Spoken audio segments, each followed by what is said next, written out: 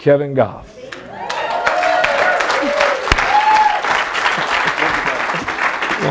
Love you, man. All right, here we go. How y'all doing? That's a good start. That's good. I'm glad. Hey, uh, I was looking over my notes. I put these together about a month, month and a half ago. And so today I was doing some things for our team back home and writing some stuff for our team. And I thought I better get my notes out and check them out. And I realized two things. I realized that uh, this isn't going to be a real easy word for some. I also realized it's going to be a little bit longer than the last two. So I tried to figure out what I could cut out. So here we go. Love you guys, love you guys, love you guys. Let's go. no, I do. I love your pastor so much. I do want to say how much they mean to us through the years.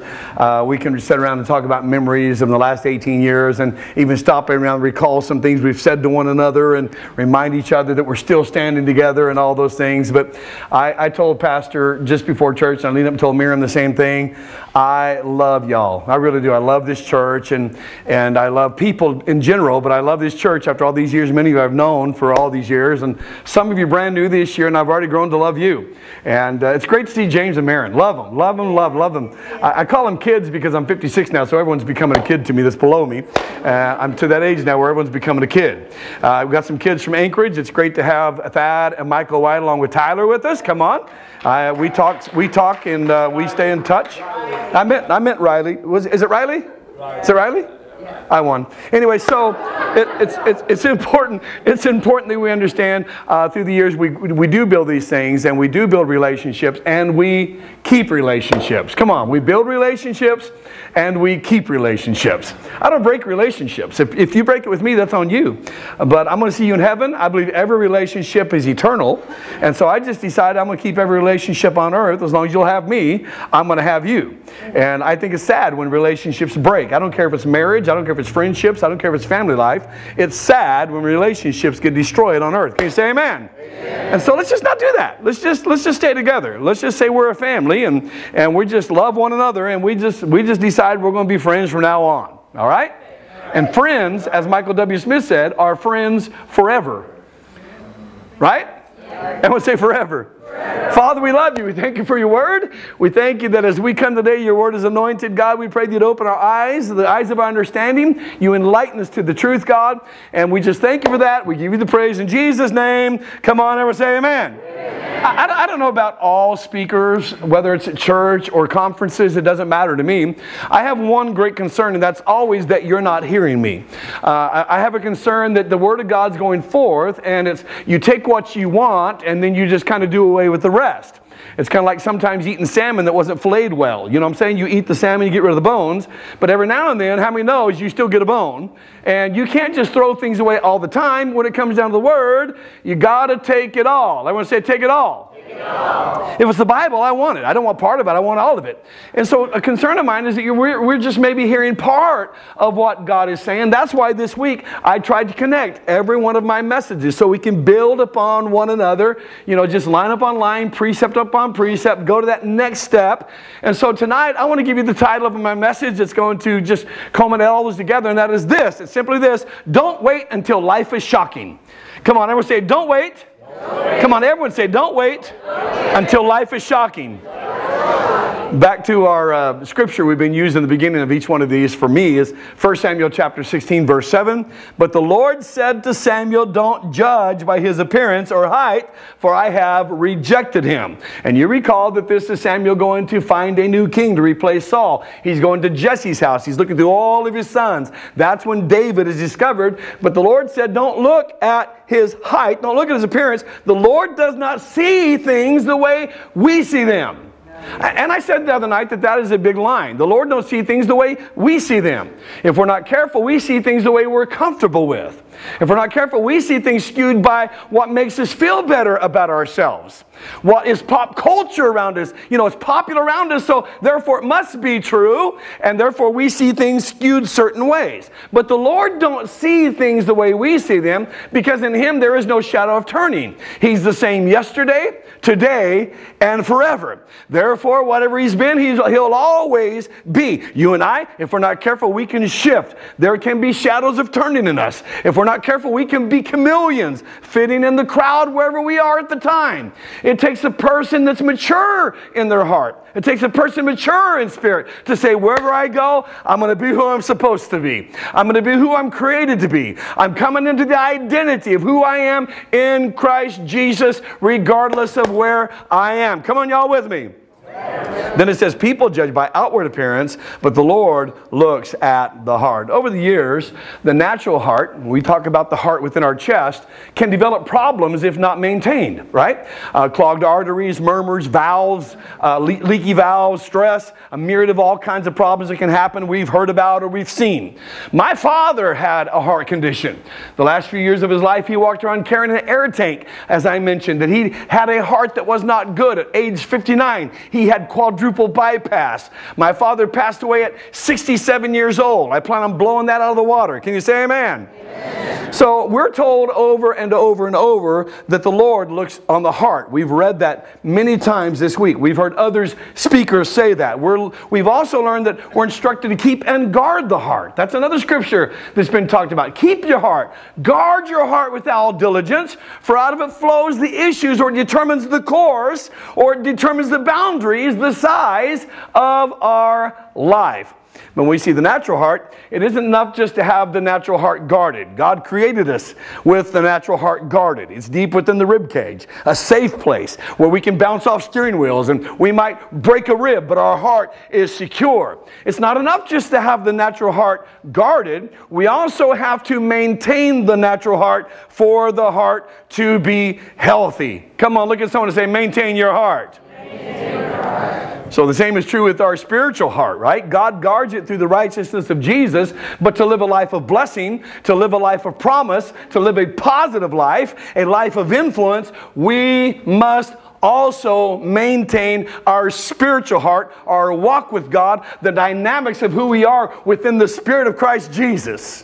And so I think that's important. So, Proverbs chapter 15, verse 13, it says it this way A merry heart makes a cheerful countenance, but by sorrow of heart the spirit is broken. Listen to it again. A merry heart, come on, ever say a merry heart, merry heart. makes a cheerful count. I can tell if you got a merry heart just by looking at your face. right? Some of you haven't had a merry heart for a while. I got three staff members that every now and then I look at these three staff members that staff and I'll say, hey, y'all, remind yourself that your face is born again. right? I got three of them. If they're watching, they know who they are. I wouldn't call them out in public, but one's my daughter in law. She's been up here. Y'all love her. She's a sweetheart. She's learning how to smile more and more and more. Come on, a merry heart. It shows on your countenance. Come on, everyone smile real big like you got a merry heart. Then in Proverbs chapter 17, verse 22, it says, A merry heart does good like a medicine. So I figure I'm going to live a long time as merry as I am, as joyful as I am, as much as I feel good inside. I think I'm going to live a ripe old age. I plan on going past 100 years. That's my plan. I plan on going as long as I can. Somewhere around 101, I'm going to lay my last Harley down for the day and just go away. Right? See, some of y'all are laughing. Some of you are like, he'll probably get it done. yeah, more than likely, I will. But a broken spirit dries up the bones. You ever seen the people that have a broken spirit? They walk around with a broken heart? They walk around with turmoil inside, issues after issue after issue. They haven't smiled so long, if they did, their socks would fall down. That's like a major facelift just to smile, people. Come on, a merry heart has it on the countenance. A merry heart is like a medicine. A merry heart gives long life, but a broken heart dries up the bones. I think that's important to understand. And so, those of us who understand having a merry heart, we understand that it makes life great. I, I had a friend, and it, still have a friend, uh, that's, a, that's a paramedic. And you know, when he arrives upon a scene, his first thought isn't, I wonder what model car this is. I wonder if they're wearing designer clothes. No, the first thing he thinks is their heart beating. The first thing he thinks about is how, what condition is the heart? What rate do we have on the heart? That's the first thing they start checking on the people in accident. Where's your heart rate? What's going on? Is your heart beating? If it's not, we need to get it beating as fast as we can because we know if the heart doesn't beat and oxygen's lost, it will cause brain damage. Come on, y'all with me? So the question tonight I have for you is your heart beating? Because if not, that might be why you're suffering from some of your brain damage. Come on, look at someone say he's talking to you now. yeah. My, that's the best response yet. My, my, my father's heart used to go into uh, a fast rhythm. And it would go into AFib. It would go into this rhythm where it would run away from itself. And they would have to shock his heart and stop it for six seconds and restart it to get it back in rhythm. Did you know there is a rhythm in our spiritual life that we've got to lock into? Or many times our heart our heart will get shocked by life. And, and many people, even in this small part of Soldotna sitting here, you've had your heart shocked repeatedly just to try to find the rhythm of God time after time after time. If you're not careful, there'll come a time if you don't stay within the rhythm of God, you don't stay walking out in the rhythm of God, you don't stay within the presence of God, you don't stay in the Word of God, you can suffer heart damage that will eventually even destroy your life. Come on, everyone say the rhythm of God. God's desire is that all of our hearts would be functioning in the rhythm of the destiny He has for us.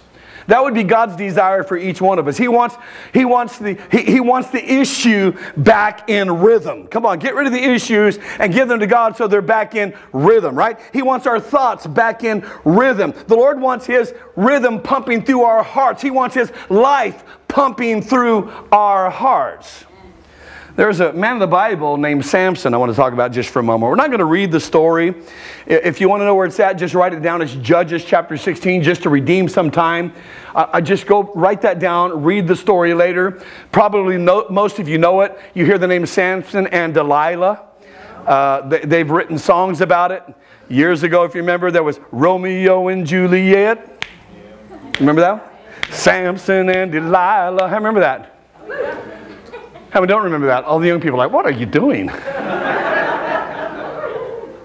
Samson is a man in Judges 16 that had his heart shocked repeatedly. That life builds up when we don't think correctly, we don't live correctly, we don't live according to God's rhythm, that life has a way of shocking our heart. And if we're not careful, we live in such a way we wait till life gets shocking. And my encouragement tonight is don't wait until life gets shocking. The story in Judges 16 goes something like this He falls in love with Delilah and she starts to betray him for 1,100 pieces of silver from each of the leaders that's recommending this. It's said today that the silver would value approximately $90,000. I don't know, who cares? All I know is he fell in love and the woman started betraying him, right? Some of you are like, that happened to me. That's okay. You don't have to have the same turnout. All she had to do was find out where his strength was because Samson is the original strong man you can read about. All she had to do was discover what made him strong because he was a warrior constantly coming against the Philistines. And so they were trying to destroy him so he could no longer destroy them. So here's how it goes. She wakes up, or she's with him one night. She says, Tell me where your strength is found. And he says, Well, if there's seven new bowstrings that have not been yet dried, I will be weak like any man. So as he sleeps, she ties him up with those bowstrings and she says, The Philistines are approaching. He wakes up, obviously, and breaks the strings, right? And so then it happens another time. She says, Tell me where your strength is found. And he says, Well, if you, if there's a, uh, you brown new ropes, if you do this and you bind them together that have never been used, I will be weak like any man. So she binds him up as he's asleep with these ropes. She screams, The Philistines are coming. He wakes up and he breaks the ropes. Now it happens the third time. And she's telling each time, You're making fun of me. Then he, she says for the third time, Tell me where your strength is found. And he says, Well, if you weave seven braids of my hair into the fabric of your loom, I'll be weak like any man. And sure enough, she does it while he's asleep again and says, The Philistines are approaching. He wakes up, still has his strength. You would think by now, yeah. There would be a light coming on in Samson. Welcome to the world of being a freaking pastor. because I hear this same story with a different face and a different couple or different person repeatedly, and I end up thinking, I would think by now you would have a light coming on. We can make fun of Samson, but we've all had the same thing shock after shock, warning after warning. Our heart gets shocked back into the rhythm, and then we fall for it again. And this is what's going on. Now, what happens? Delilah begins to pout. That's what one version says. Delilah pouted and said, You're just making fun of me. If you really love me, oh women, oh she began to pout and said, If you really love me, you would take me to Italy if you really love me, you'd take me out of Soldotna. if you really love me, you'd buy me that diamond ring. These are all the words I've heard from my wife over the years. love you, babe. It's exactly how my wife got me to buy her a diamond ring. Begin to pout and said, If you really love me, we fall for it. There's an old sermon from years ago entitled, and the pastors have heard it, some of you probably have. It said, Sin will take you farther than you want to go, keep you longer than you want to stay, and cost you more than you want to pay. Sin will take you farther than you want to go, cost you more than you want to pay, and it'll keep you longer than you want to stay. You can say it any way you want, but it's the basic thought of what's going on. Look at your life. Take a view of your life. Is it what you intended it to be? Is it what you had planned for it to be? Better yet, is it the plan that God had for your destiny? Because the truth is, if we're still falling for what we've always fallen for, we'll never live out the destiny that God has for us because we have to have the rhythm of God, the heartbeat of God, the Word of God within us for us to live the destiny that God has for us. Amen. Come on and say, guard your heart. Oh, Samson liked where he was at. Yeah. He laid his head in that lap every night and was just like, falling for it over and over and over. There's pleasure in sin for a season. Yep. The Bible says that. I had someone tell me one time, this lady said, Well, uh, I have never had pleasure in sin. I said, Then you didn't know how to sin.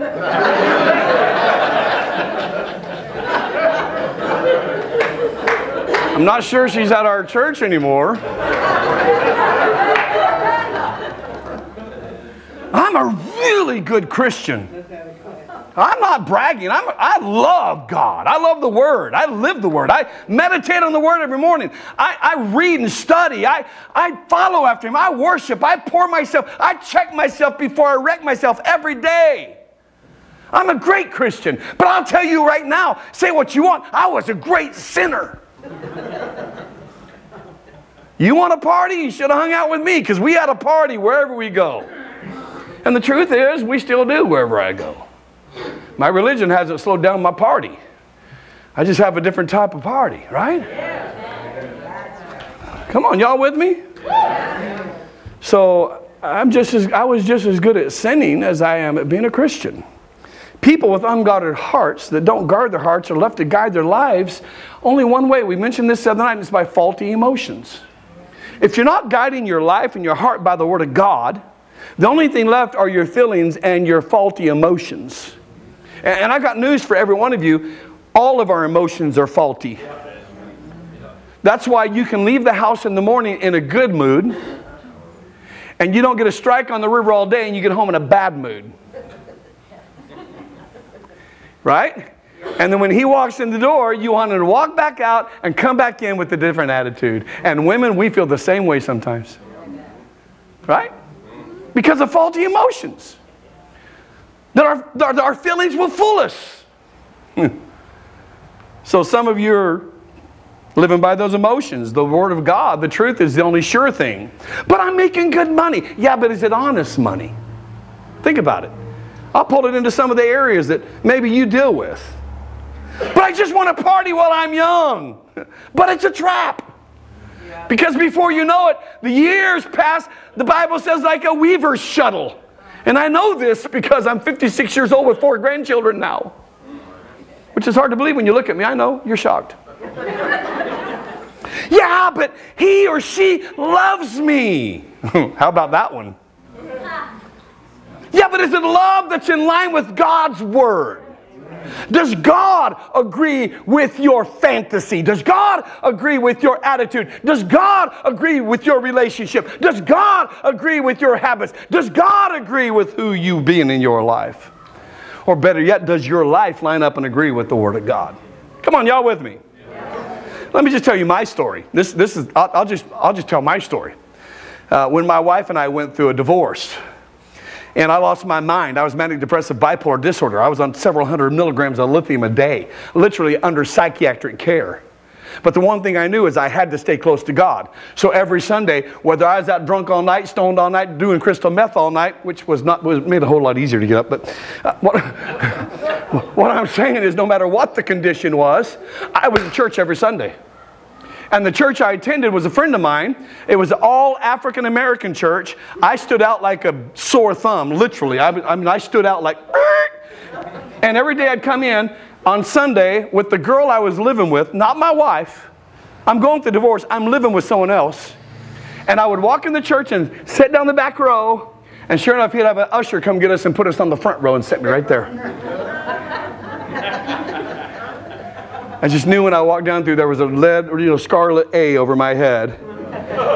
Until I realized, just like some of us, we're narcissistic. No one's really thinking about us at all. No one really thinking about us is Jesus, how to get us back in line. No one else cares about it. Everyone else is just cheering us on, but we judge our own selves because our heart is not right. So I would sit there, and all of a sudden one day, he taught a message on the difference between love and lust. I'd already been a pastor for seven years. I already taught that message probably a dozen times. But as I sat there in church that day, the Holy Spirit gripped my heart because he said, Lust takes, lust destroys. Lust brings problems. Lust tears down. Love gives. Love builds. Love adds. Love is kind. And he began, and I thought to myself, I'm not in love. I'm in lust. So I went home that day and I looked at the young lady and said, You got to move out because I don't love you. And she said, No. I said, Yes. That was the exact thing that happened in my life. I'm being vulnerable. I'm just, I'm just being honest. And if you don't like me now, I don't need you anyway. So let's move on. so the problem was I was living a life with an unguarded heart. I was living a life where my heart hadn't been guarded and I was just living by what I felt. I was living by my emotions. I was living by what I thought was right because it felt right. My heart wasn't guarded by the word, it wasn't led by the truth. I wasn't living in his promise. All I was doing was feeding my flesh with the lustful things that made me feel good at that time. My ego, whatever it may have been, it didn't represent the Lord, it represented myself. Come on, y'all with me? Yeah. So I'm going to be honest with myself and I'm vulnerable about what I went through. Can you be honest with yourself tonight? Can you open your heart and let God examine it according to His Word? Let me give you a few steps, three steps to guarding our hearts. Can I do that as I, as I get ready to leave? A few steps. Here are three steps to guarding our heart. Number one, recognize alien thoughts and feelings are invited into our spiritual heart by our carnal heart. I'll leave it up there just for a moment. Recognize alien thoughts and feelings are invited into our spiritual heart by our carnal heart. We all have, we all have duplicity going on. We all, we all have carnal side, a carnal mind, a spiritual mind, and a carnal mind. We all have a carnal heart and a spiritual heart. And all those negative things, all those alien thoughts, all those feelings that, that, that are contrary to the Word of God, they're invited into our spiritual heart through our carnal living, our carnal heart. Jeremiah 17, verse 9. The human heart is most deceitful of all things and desperately wicked. Everyone say the carnal heart. Carnal. You have a side. I have a side that is desperately wicked. I am a great man with Jesus. Without him, you don't want to know me. Oh, you're not that tough. No, I'm only five eight and three quarters, but I know how to use a board. I've hit more than one person with a board in my lifetime, right? There's a side of me that's not pleasant. My wife has seen that side. My children have seen that side. My friends have seen that side. My church, as a pastor, has seen that side. I was talking to a man one night, he, and, and he, he, he's, he was one of those guys that tends to whine about everything. And I was sitting in the car in the rain with him, and I was kind of just trying to console him. And he says, Well, you know, the truth is, I don't think you love me, and I just think I need to go to church somewhere else. And this is right before my divorce, and didn't know I was losing my mind. I really thought I was in my right mind. And I opened the door of the van. I said, Okay, do me a favor. Don't let the door hit you where the good Lord splits you. Slam! Good friend of mine. But do you know that to this day he reminds me, you remember that time you told me not to let the door hit me? to which now I've renewed my mind. I go, I'm so sorry, but why haven't you left yet? he came back to my second church. Sorry. Before we post that, can we delete that? Desperately wicked, the heart. Everyone say the heart. the heart. The human heart, the fleshly heart, the lustful heart. It's like flipping through the channels on our cable TV one night and we see a steamy love scene. And we go, oh, oh, and we turn it. But then we scan the channels again just a little bit more slowly. time after time. Until it rests there like the channel's broke.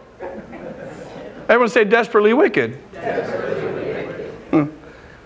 My wife will tell you that when I'm watching anything and something like that comes on, I cover my eyes. I cover my eyes. That's why I don't recommend movies because I don't remember. I'll say something about you should see this movie. My wife says, "Shut up." She said, "You had your eyes covered." I said, "You didn't."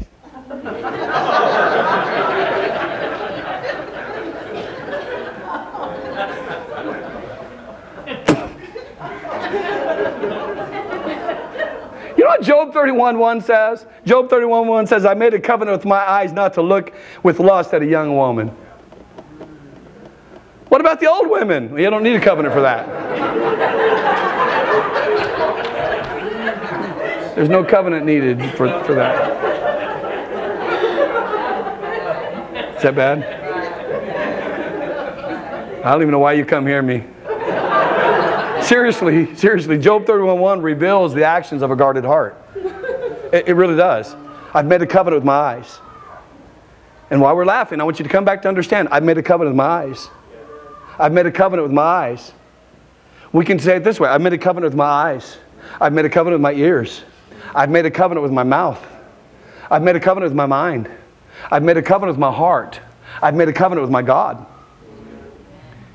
That whatever is wrong I want to weed out of my life so that I can walk in the fullness of all that He has for me and the path that He has for me and the destiny He has for me because, like it or not, until you're on that path, you'll never be fully fulfilled.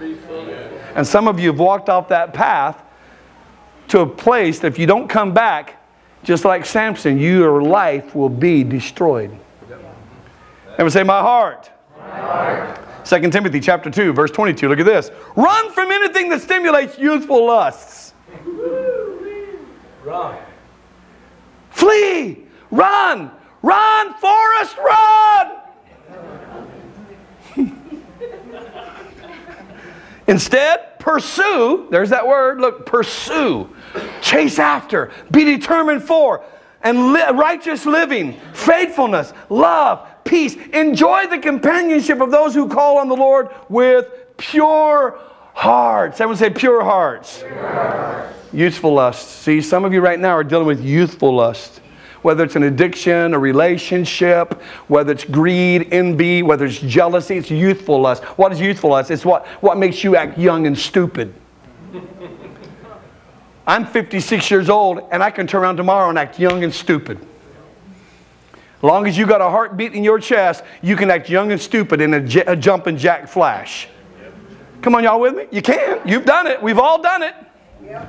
It's like it's like life if you're not careful, if you don't stay on top of what life really all is about. It's like the old dress or the old shirt in the closet right? And, and, then you go buy a new dress. You don't ever want to buy the old, you don't ever want to wear the old dress anymore. Life can be like that for us if we're not careful. It's like, oh gosh, that old Christianity thing, that's just like an old dress in my closet. I want something new. That's young and stupid. It's the security of God's love it's the security of God's righteousness through Jesus Christ that keeps us on the path that He has for us. The good things. Everyone say the good things. Good things. Number two, write this one down. If necessary, physically move yourself to another location. let, me, let me say it again. Keep it up there. If necessary, physically remove yourself to another location. I was in the house one night and my phone rang and on the other end of the phone is a lady, and she's screaming, I shot him! I shot him! I shot him! This was a troubled marriage in my church. And I could hear him in the background going, ah! ah! And I was like, oh God, where did you shoot him? Which she answered, in the condominium. this lady has lost her mind. No, where on his body? And she literally shot her husband in the foot. So I run over, grab their kids before CPS gets there to make sure everything's good. And don't tell me crazy don't happen to people. This was a business couple. This was a solid couple. And what was it the police said? You are leaving here tonight. Not in handcuffs, she should have. But they removed her from the house because tensions were high.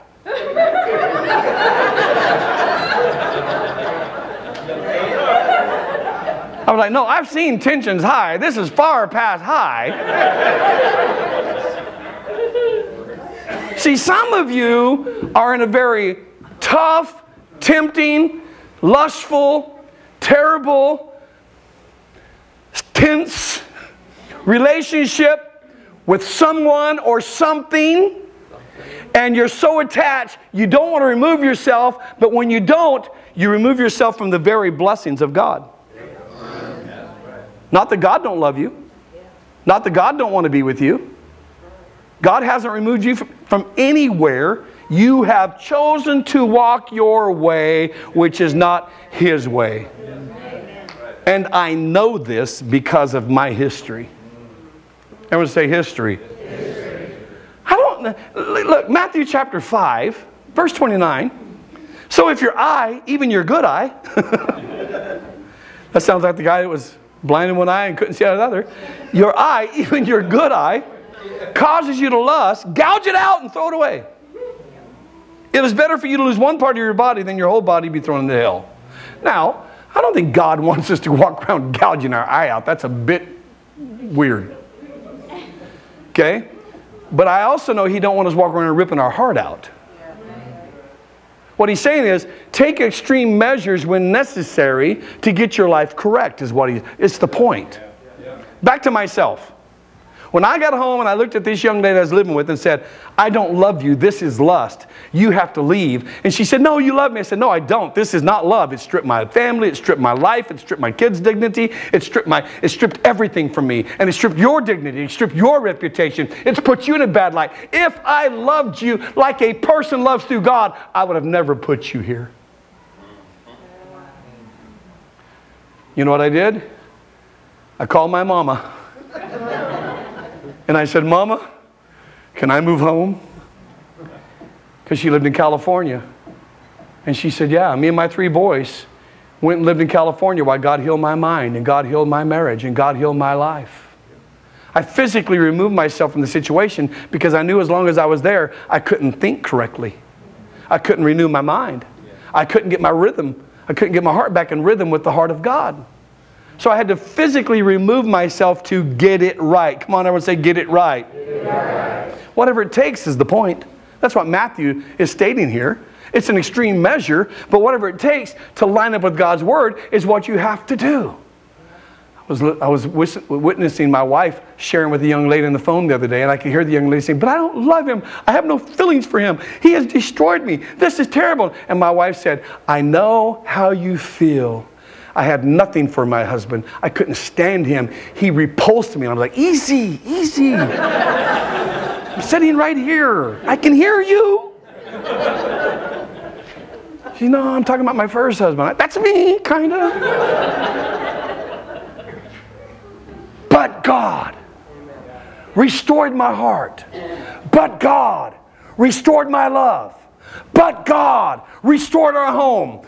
But God reignited the original match and even better. But God superglued us back together. But God did what no one could do on their own strength because we were willing to go to extreme measures, whatever it took to make life right. Amen? Come on, look at someone say, whatever it takes. Last point, number three. Number three. Develop a regular fellowship with God and His bride. Develop regular fellowship with God. And this is funny because I, I'm not laughing at people, but as a pastor, once again, it shocks me that people don't get that their relationship with God is the barometer of their life. The one that created you, you should know is the barometer of your life. It's the gauge of how you live. He is the one. So I can show you verbatim any church. I could, I could sit and talk with every one of you in this church. I can listen to you, look how you live your life, see what's going on in your life, see the outcome of your days, see the agitations of your heart, see the frustrations you live in, see the depression going on, see the anxiety you live with, see the course of all your actions, see the issues you deal with, and tell you what your spiritual life's like. Every time. 100%.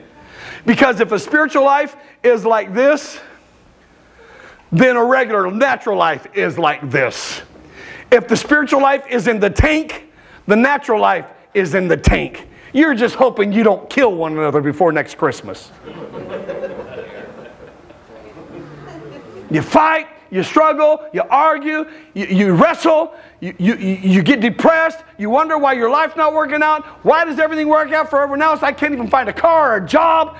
And then you don't understand that you've removed yourself from the very thing that matters, which is the heart of God and the blessings of God in your life. He wants to bless you.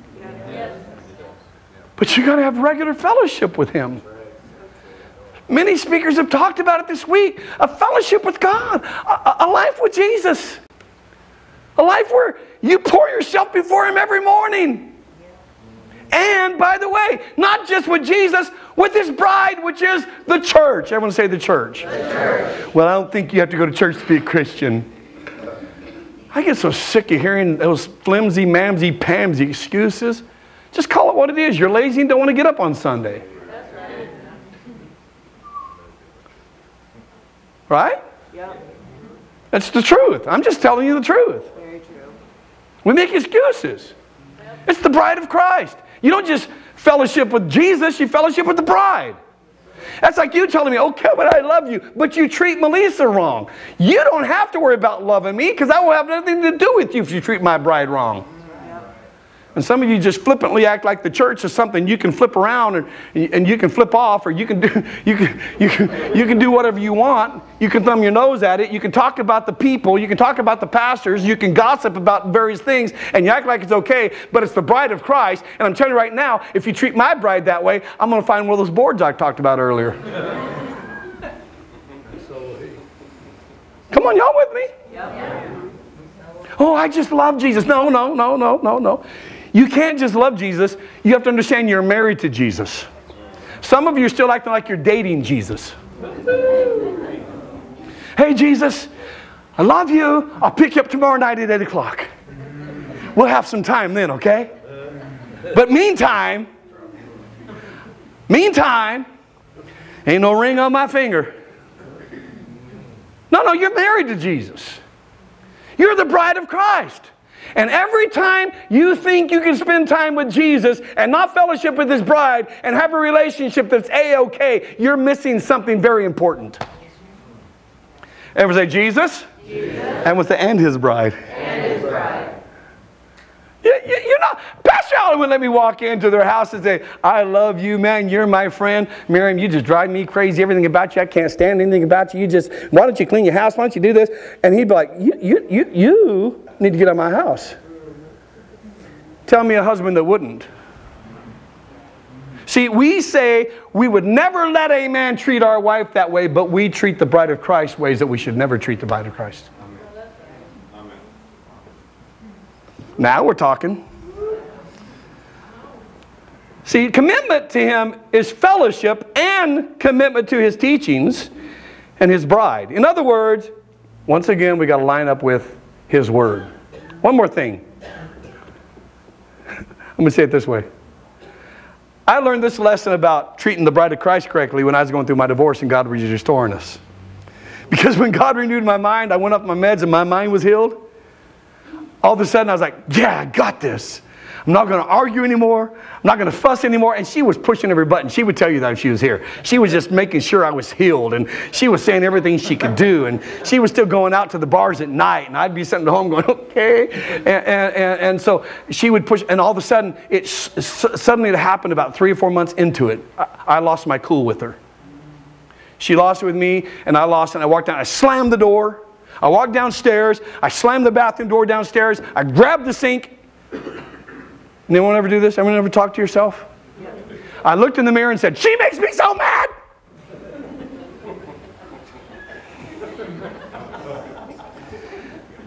and here's what the Holy Spirit told me No, she don't make you mad. That's your emotion. It belongs to you. You can live by it or you can keep it to yourself. Then he said this to me Why are you treating my daughter that way? my bride, my, the one I love. I learned it the hard way. I'll never forget that in comparison to the church. I'm not going to sit around and let people talk about you, defile you, let you defile this pastor and his wife or anyone else. Why? Because I love Jesus and I love his bride. Come on, look at someone and say, I love his bride. Hmm. My commitment to Jesus accentuates my commitment to his bride. Did you hear that? My commitment to Jesus seals the deal. I'm committed to his bride. well, I feel like God is moving me.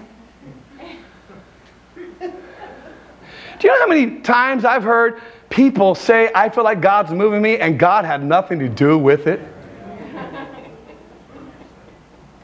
The only time God would move you, let me just say this, the only time God would move you if there was, if there was any sort of uh, inappropriate behavior, if there was any misappropriation of funds, if, if there was some type of immorality. But nowadays, it's not immorality that moves people, it's immaturity. I met one person that changed churches so often, I swore they took a spiritual Ex-Lax. Every time I saw them, they was being moved. That's so crude. Well, okay, we're talking about attitudes here. I suspect some of you would be upset with me.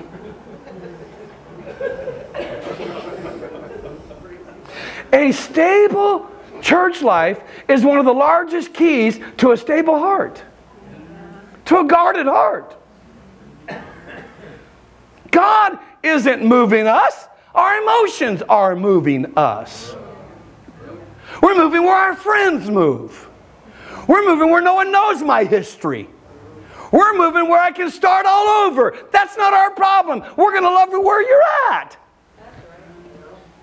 You know, if every time I got upset with my wife, I left her, I would be away from her as much as I'm with her sometimes. Right? Times of friction.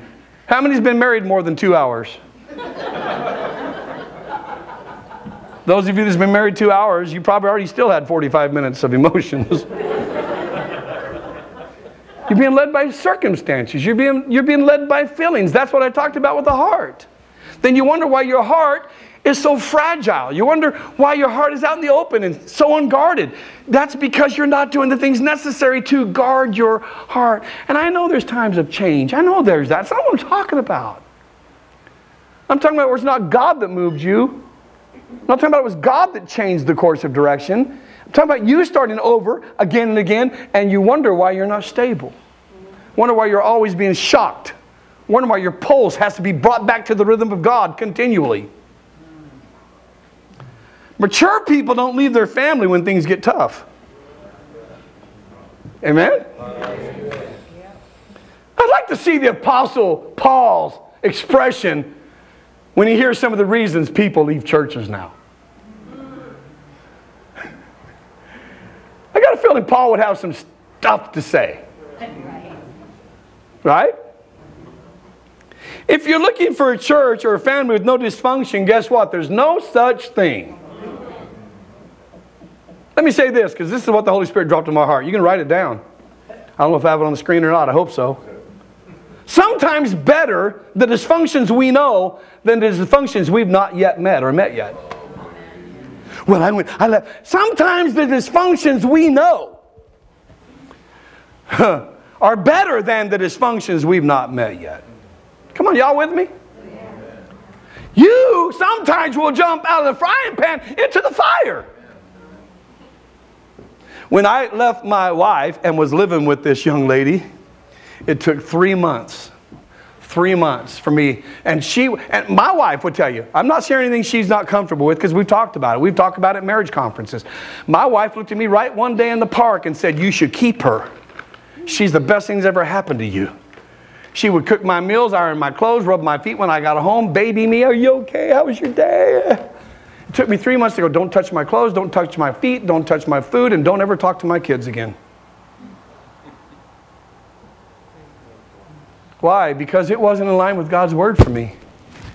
It wasn't God's best for me. It wasn't what God had for me. Come on, y'all with me. Biblical reasons for living what would be what? Dishonesty, heresy, immorality, not immaturity. Not I've been offended. Not I got hurt. Somebody treated me wrong. I didn't get to sing the song I wanted to sing. I went to take the offering, and the pastor said I was being too loud. You want me to just keep going with the excuses I've heard? Pastor didn't shake my hand. Church has grown too much. We don't even play cards anymore. You're never at church anymore, Pastor. It's not always you preaching. As if God's word isn't good with someone else that might be sharing it because it's only through one person it's good.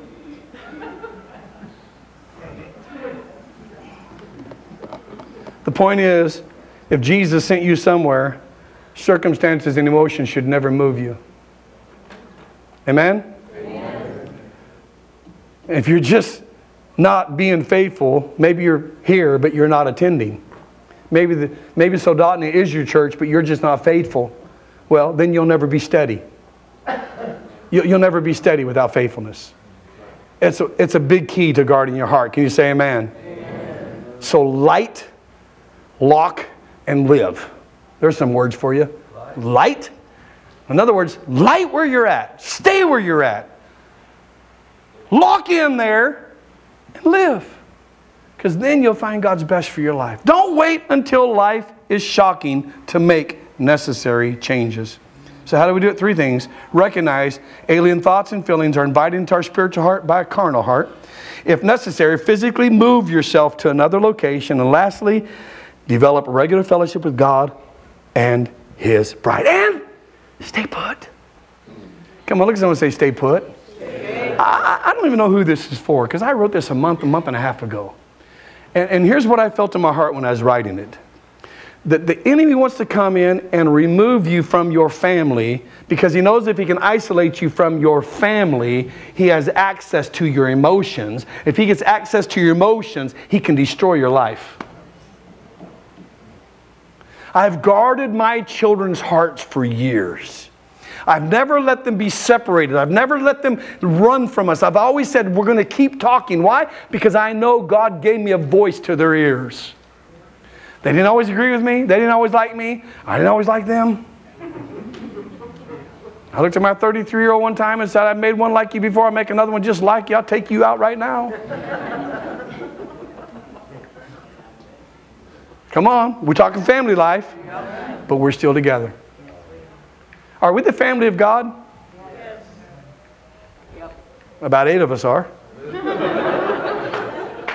are we the family of God? Yes. Did God call you to a church? Yes. Then you better stay at that church until something else moves you, not your emotions or your offenses.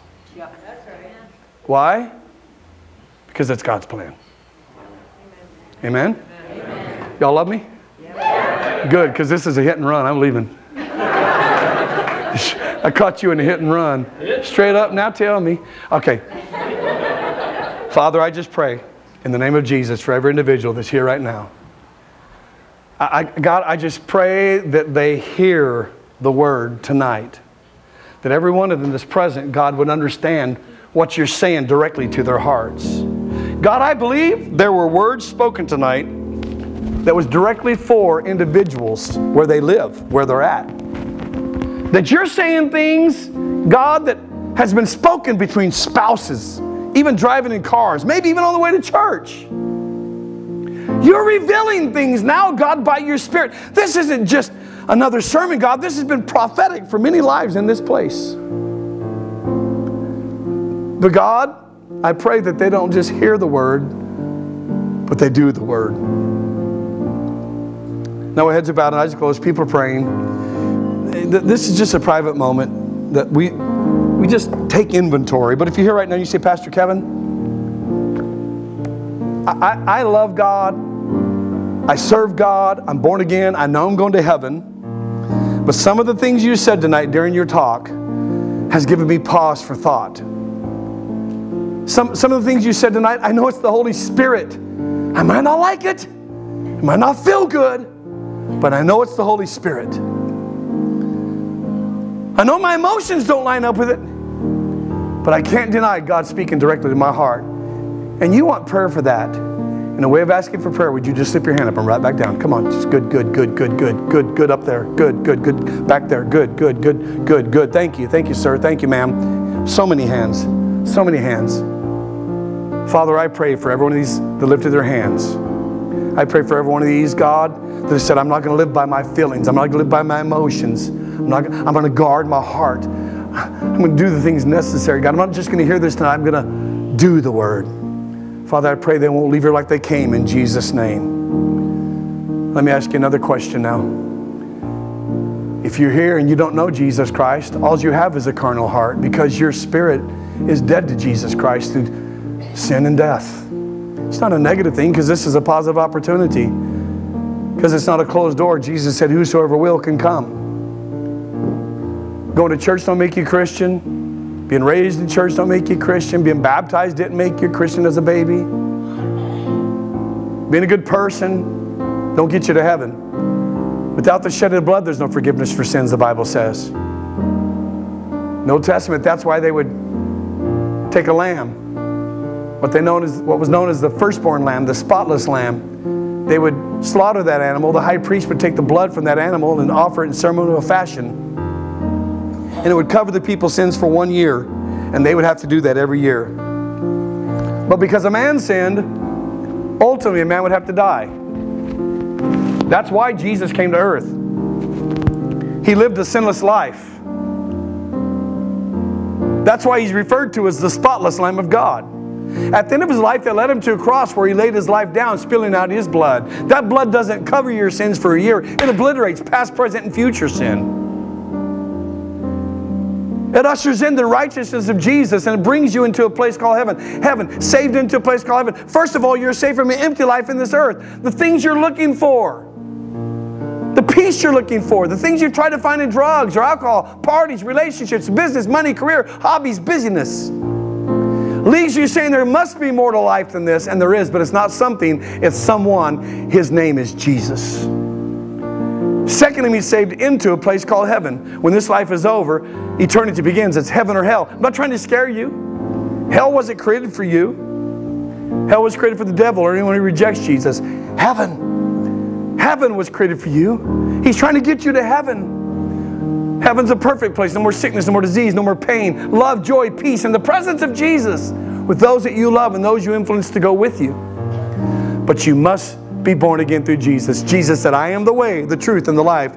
No one goes to the Father, which is in heaven, but by me. So our heads are bowed, eyes are closed. I'm going to ask you one more question. Do you know Jesus Christ as your Lord? I'm not going to put a spotlight on you. I'm not going to have you stand up. I'm not going to call you forward. I just want to pray for you where you're at like I prayed for the others. But if you're here right now and you know you need Jesus, you want to go to heaven, you know you need to make it right, come on, as these others already have, will you just slip your hand up and right back down saying, Pray for me? Good, God bless you. There's one. God bless you. There's two. Someone else. Is there someone else? God bless you. There's three. You can put them right back down. God bless you. There's four. Is there someone else? You'll say, Pastor Kevin, that's me. I know I need to give my life to God. Are you here? Maybe online right now. You're making this, you're making this admission. We're going to pray that include you in this prayer as well. All right? I'm going to pray a prayer. I want everyone here that lifted your hand, the four of you that lifted your hand, to repeat repeat this prayer with me out loud. Not by yourself, everyone here that is born again, I'm going to ask you to repeat it with them. Come on, can we say it together? Father, I believe in Jesus. I believe He's your Son. I believe He died on the cross. He was buried and rose again. Jesus, I confess you now as my Lord my Savior. Forgive me for my sin. Make me new. From this day forward, I place my life completely in your hands. And I place myself in a local church to learn more of you. That through greater knowledge of who you are, I will grow in deeper love with you. In Jesus' name, come on, welcome these to the family of God. Come on, church. Come on, church, celebrate. Come on. Nothing greater than that. I don't know where you stood with Christ before this. All I know is if that's you confessing Christ, you're on your way to heaven. I know Pastor Allen and the church here has steps for you to take. I know they're running various things to help you grow. They have a discipleship course that'll introduce you to Jesus and the life of God, all those things. So make sure you get that in your life. Amen? Amen. Hey, listen, I got to cut out, but before I do, I got one more thing I'm going to do. Uh, I'm going to receive tonight's offering. Is that all right? No? Man, where's all the amens now? I'm going to go ahead and receive an offering. Is that all right? Yes. Okay, because I don't want you just to reach and get what you think you want to give. I want you to take time and ask God what He wants you to give because you need to understand you're not giving to people, you're not giving to uh, just a revival or a conference. You're giving to lives that have been born again this week. You're giving to marriages that's been restored this week. You're given to hope that's been restored this week. You're given to missions. This is a mission that your pastor invests in. I said he invests every week. So I know that pastor stands up here and asks you to give sacrificially sometimes. And sometimes it's like the, the teacher on the Peanuts commercial, you know, cartoons. Please don't tune me out right now. Because I'm telling you, my wife and I gave to this. We, we believe in this. So if you believe in people being born again, if you believe in marriages being restored, if you believe in that stuff, can you give out of your heart? And, and, and you might say, have you given? Well, you might want to give some more because you're investing. Wherever we go, guess what? Because of this investment, you're a part of that winning of those souls as well. And we're winning a lot of souls. How many wants to lay up treasures in heaven? I'm waiting for the rest of you. How many want to lay up treasures in heaven? Well, that's how we do it. We do it through our giving. We live to give. We love to give. That should be us as Christians. Everyone say, I live to give? I love to give. Love to give. It's more blessed to give than to receive. Do you believe that? How many's ready to give? You have envelopes? You have all that? We got that? Bring it up. Bring it on. Bring it on. Bring it, bring, come on down. Run down here like you stole something, guys. You know what that's like, right, Frankie? Your old man? I love that guy. I love that guy. Uh, anyone need an envelope? Lift your hand up. Come on now. We're trying to hurry. Because I love you, I want you out of here. And because I have a plane to catch, I want to get out of here. Please give. Please give. And you might be sitting there going, well, I'm not giving because. Okay, please keep your stingy money. If you can't be a cheerful giver, don't be a giver. God, God loves a cheerful giver. Some of you might have more than enough and you hold back. Don't do that. The more I give, the more I'm blessed. The more I give, the more I receive. 3600 for return. That's what the Bible says. Give, and it shall be given. Press down, shaking together, and run it over. You can't get to press down, shaking together, and run over without the give. Give, and it shall be given. Everyone wants the given. But you first got to do the give. Amen? And I know you are. Father, we just thank you for those who are hilarious givers, prompt to do it givers. God, those that you love. I pray that right now, God, whatever they give, there's a 30, 60, 100 fold return. God, for those who are given sacrificially, God, I pray that you return it immensely upon their life because they're supporting mission, they're supporting vision, they're supporting your kingdom. Father, I just pray that you would just grow this in their heart, grow this in the kingdom for them. God, that this seed, when it goes into all the speakers' lives and it goes into this church life, that they'll realize they have treasures in heaven by everyone they've touched because they've given this week. Lord, we thank you for that. We give you the praise and the glory and the honor in the name of Jesus. And we say, Amen. All right, guys, you may serve the people. And here is your wonderful pastor. Come on, give it up for Pastor Allen.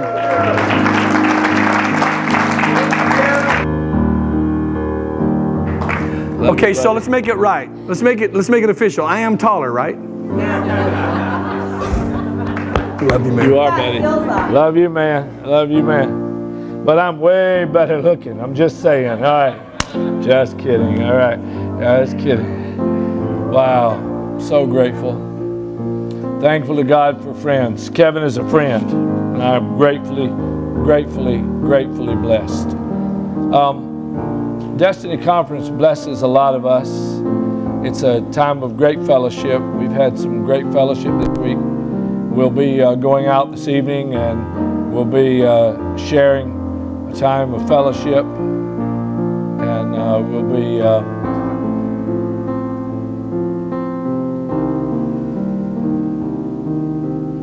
we'll be um, fellowshipping tonight. We got some tacos, Pat. Tacos at the camp. If you'd like to join us, we would uh, we'd love to uh, join with you and fellowship Sunday morning, 9, 9 o'clock, 11 o'clock. Uh, thank you for your investment in the ministries of this church. Lives have been changed for sure. And I'm just so grateful to God. Would you stand? Hope you got your t shirt. If you didn't get a t shirt, um, they're still available. And uh, if you can't afford a t-shirt, we got some leftovers from years gone by that are five bucks a piece. So we'd love to make one of those available to you. They're beautiful shirts, great shirts. You can wear them when you uh, go to Sterling on vacation or wherever. Homer for a day. Thank you, Father, for loving a wretch like me. Thank you for doing what only you can do in our lives, forgiving us, blessing us. Thank you that every need is met, every provision is made. You got it.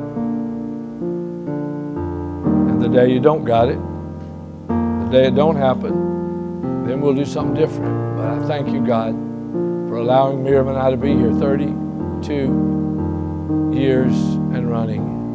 And you've always met the needs of this church. And I know you will continue to do so as we trust you in Jesus' name. God bless you. Thank you so much for coming. Give the Lord a hand clap of praise as you go. Amen. Amen. Thank you. God bless.